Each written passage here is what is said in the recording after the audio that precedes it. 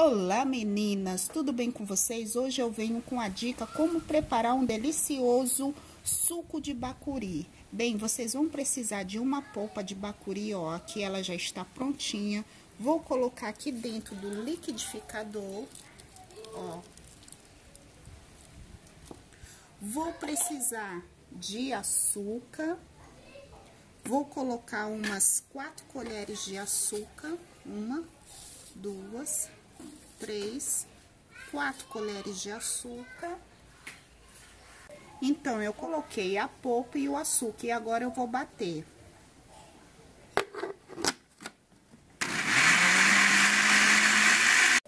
Vou usar um litro de água.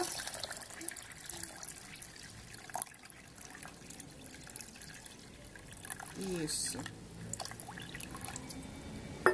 E agora a gente vai bater.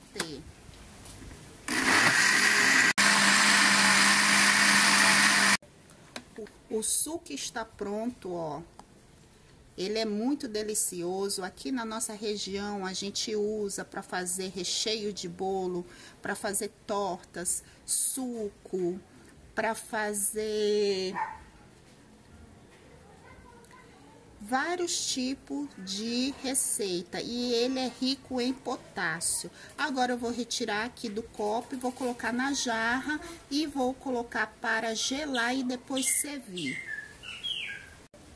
Está aí, meninas, feito suco, uma delícia. Espero que vocês gostem, dê aquele joinha, compartilhe com seus amigos, com seus familiares.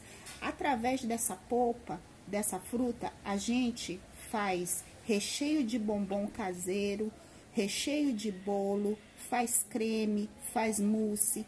Ele tem bastante diferenciado em vários tipos de alimento aqui na nossa região. E tem muita gente que gosta de usar ele misturado com o açaí, que também fica uma delícia. Essa é a dica do nosso suco de bacuri, aqui da nossa região do Maranhão, que você faz, é bem refrescante, é uma delícia, você pode estar tá consumindo com a sua família. Fica aí a dica, e a polpa aqui na minha cidade eu compro aquele saquinho por R$ 2,50.